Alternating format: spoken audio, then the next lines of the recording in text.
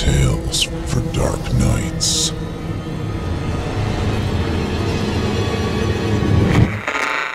Want to make sure you never miss a Chilling Tales for Dark Nights video again?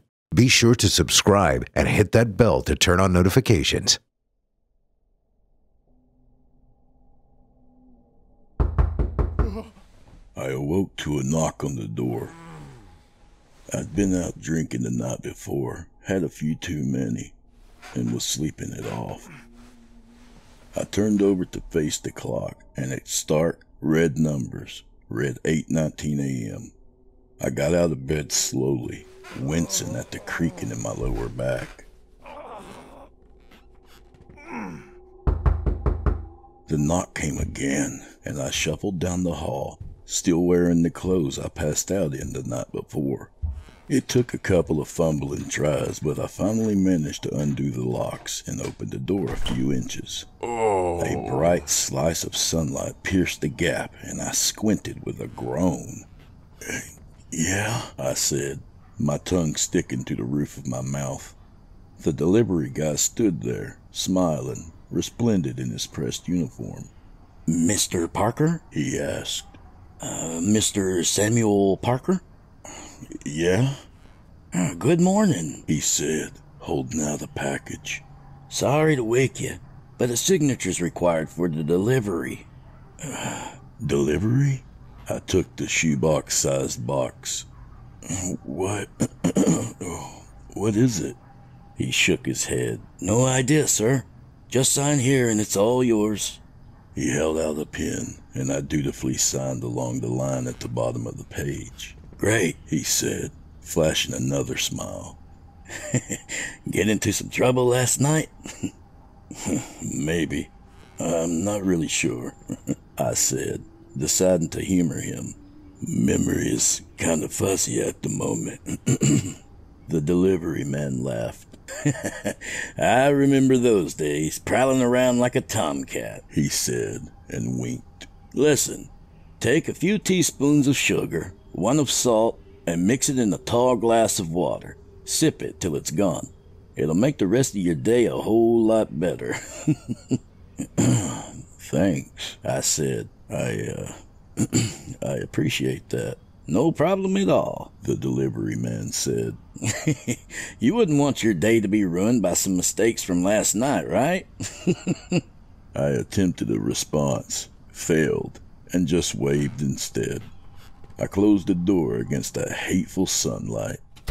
Back in the kitchen, I mixed a drink in silence as I stared down at the box on the counter. It was wrapped in brown paper, held together by duct tape. All the delivery info was written out with a black marker in all capital letters. Adrestia's Road, I read. Wherever the hell that is. I grabbed a knife from the butcher's block and slit the tape, then peeled away the paper to find a plain cardboard box. I lifted the lid. Inside was a framed photo, cushioned by a pile of shredded newspaper. It showed a couple standing at the altar, their arms around each other, the priest behind them smiling widely. Someone had scratched out each person's eyes, leaving white lacerations across their faces. What the fuck is this? I turned the frame around and unclipped the back, backing, searching for an answer. Written on the back of the photo were two names I didn't recognize, and a date from 15 years ago that had as little meaning to me as the names did. There was a message scrawled across the bottom. I don't know what it said, and even if I did, I would not tell you. It's not that it was in a different language. It was just. I'm not sure. It was a spiky script, like the readout of a heart monitor, dipping and ascending with each pen stroke. But I could still read it, and it hurt. The pain began building behind my eyes, completely overshadowing the headache from my hangover. The pressure peaked, and I staggered back, dropping the frame to the floor, where the glass shattered and the wood splintered. I shoved the heels of my hands against my eyelids and screamed. My head felt like an inflating balloon that had reached its limit. Just when I was sure I was having a stroke, the pressure stopped and the sensation slid away from my eyes, moving into my sinuses and growing there like a sudden head cold. It began to throb in time with my heartbeat. I'm not sure how much time passed as I stood there in the kitchen panting, my teeth clenched against the pain. When I lowered my hands, I opened my eyes to darkness. I was blind. No images, no colors, not even black. There was nothing. I stumbled but succeeded in grabbing the counter.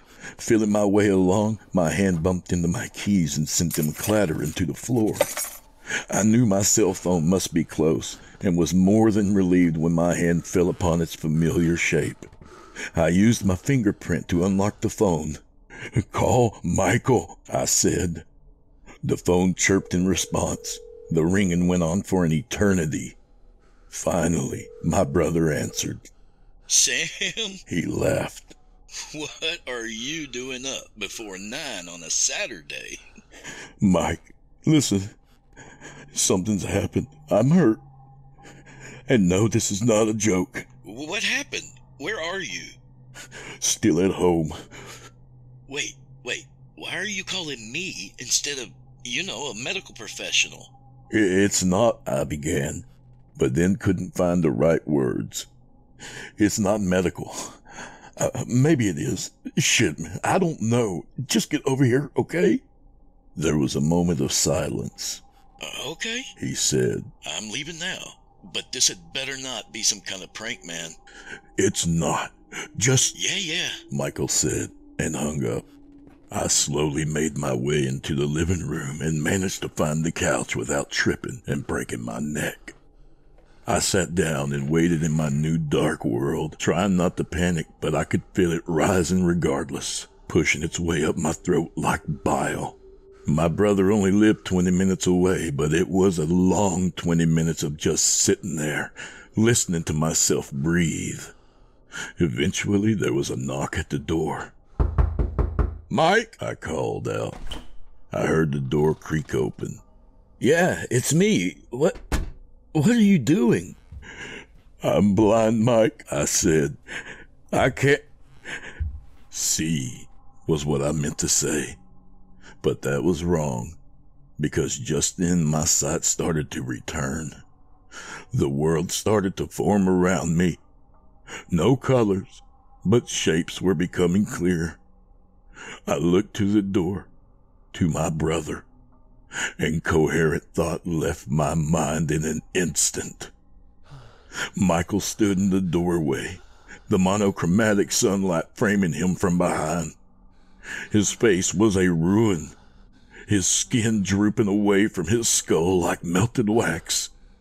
Serrated antlers hung from each side of his head, twisting into curls like the horns of a ram. Sam, what's wrong with you? he said, shambling toward me on legs of ripped muscle and hanging veins that fluttered like seaweed in the strong current. I screamed and backed away to the furthest edge of the couch. Get back! Get the fuck back! He stopped. Hey, calm down. It's just me. What the hell is going on? For a wonder, I did stop. I squeezed my eyes shut. Mike, Yeah? say something. Something only the two of us would know. Uh, your middle name is Brian. No, I said. S- something more specific, Um, he said. uh, let's see. When you were 12, I caught you in the bathroom. Okay, okay, enough, I said. It is you. But you don't look like you. Sam, I swear to God, if this is some prank, No, no prank, I said. Hold on. I need to check something. Move away from the door, off to the side where I can't see you. I heard his shuffling steps, then opened my eyes. The door stood open, showing a scene of gray grass and white sky. Something shambled along the sidewalk. Matted hair trailed down its flayed back. braided with strips of skin. Its left arm hung low, the claws at the tips of its fingers causing sparks as they skipped against the concrete. In its right, it held a loop of intestine tied around the throat of some beast, its carapace shining in the morning light.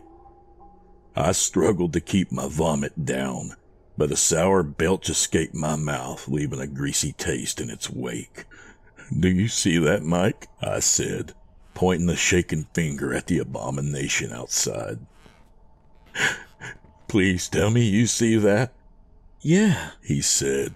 one of your neighbors is walking their dog. So? No, it's, I said, then trailed off, unable to explain. I felt Michael grab my arm. Come on, back to the couch. he said, leading me away from the door. I heard him close it, then felt his weight settle beside me as he sat down. Okay, I said, this is going to sound fucked up. I explained the events of the morning, keeping my eyes closed the entire time. When I finished, I heard Michael walk into the kitchen and the sounds of him inspecting the box. Who delivered this? I honestly didn't pay attention. I'm exhausted and hung over, Figures. he said. And who are. Don't look at that! I cried, remembering the picture. I didn't look at the back. Chill out. I slumped against the back of the couch, relieved. So, He said, some mystery company delivered a mysterious package containing a mysterious photo that made you go blind. Yes, I sighed. And now you can see, but everything's in black and white, and I look like some sort of creature that crawled out of a grave? When you put it like that, it sounds crazy. I could hear the sudden swish of him turning the box around on the counter. What about this web address? He said. I blinked. I don't know what you're talking about.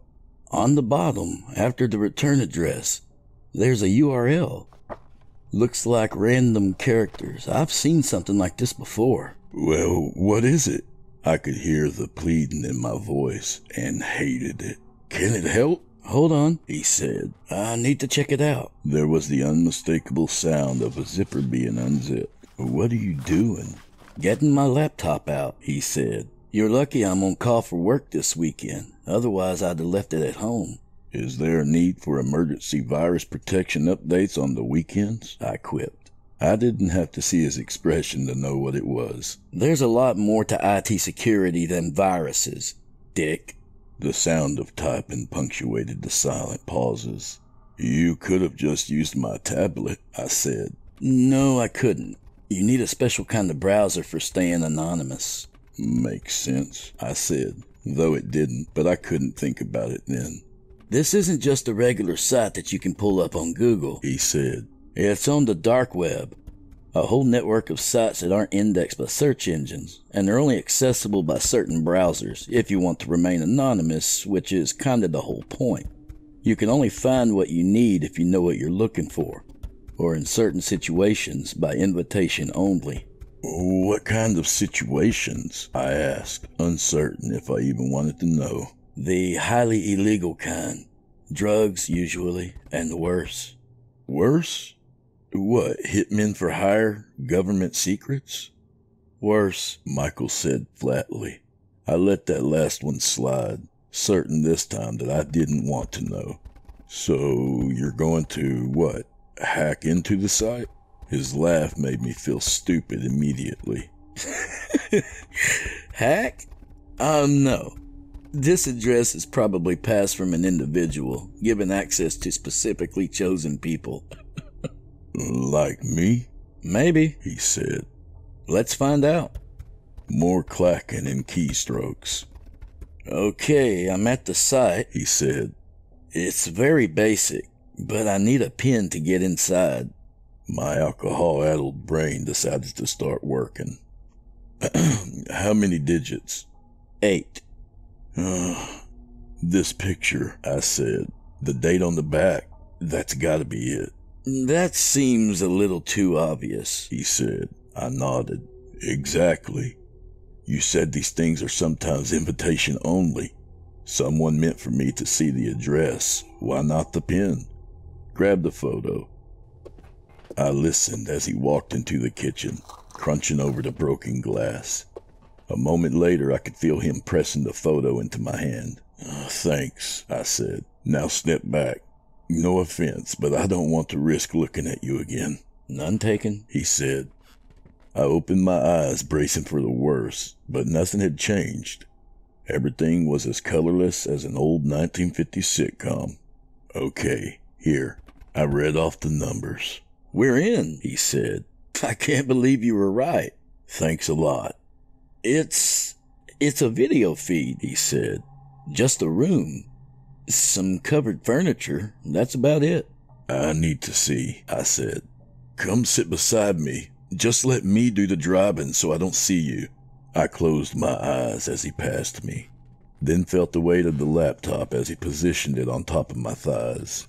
I opened my eyes. It was as he had described it, a nearly featureless room, until the door opened. A man walked out, dressed in a t-shirt and jeans. That's him, I cried. That's the delivery guy, Hello, Sam. the man said. I gotta say, I'm kind of surprised to see you this early. I thought it would take you longer to figure it out. But I see you had some help. Michael quickly reached out and covered the webcam embedded in the top of the monitor. I barely suppressed a cry at the sight of his scabbed and twisted fingers. it's okay. The man said with a laugh. I don't need to see you. I just need you to see this. He grabbed one of the furniture covers and pulled it away with a flourish, like a stage magician performing a trick. And there was Sadie, sitting in a chair, gagged and bound. Who the hell is that? Michael whispered. Go ahead, The man said, tell him. Her name is Sadie, I said thickly, my mouth feeling like it was stuffed with cotton. She's the woman I've been seeing lately, Seeing? the man said. Is that what you call it? I said nothing. Now, the way I see it, The man said, striding over to Sadie. the only reason you're not strapped to this chair is that you didn't know Know what? I cried. What is this about? that she was married. That we He gestured to Sadie. are married. Fifteen years next month. Uh, I'm sorry, I said, and I meant it. Listen, I honestly had no idea, That's why I'm letting you live. he said, reaching behind the chair. He raised a knife in front of his face, studying it. But unfortunately for her, she knew better. I shook my head, tears starting to blur my vision. Please don't hurt her, okay? Uh, people make mistakes. I'm, I'm sure we can talk, I will hurt her. he said. And you're going to watch. Or you can keep seeing the world with no color, and everyone you care about will be a monster in your eyes. Like she now is in mine. Sadie's cries were muffled by the gag. A cornered animal, her eyes wild and bright with tears. I can't, I sobbed. I can't watch this, It's up to you. he said. Watch what I do to her, and tomorrow you'll receive a letter with a special message just for you. Read it, and you'll be back to normal. Your choice, Sam. A few minutes of murder, or a lifetime of monsters. I looked at Michael, at his bulging, yellow eyes. I nodded to him, and he removed his hand from the webcam. And I watched.